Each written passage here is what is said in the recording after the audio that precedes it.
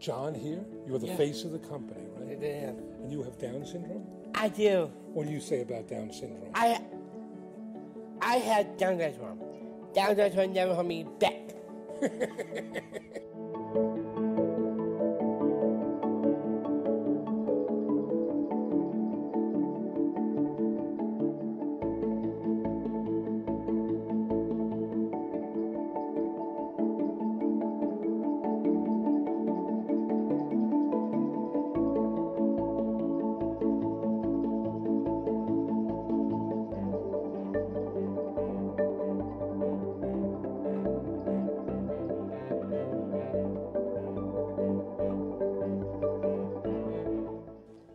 Socks because it's fun, it's colorful, I like to be creative, uh, and I want to do wonderful things here.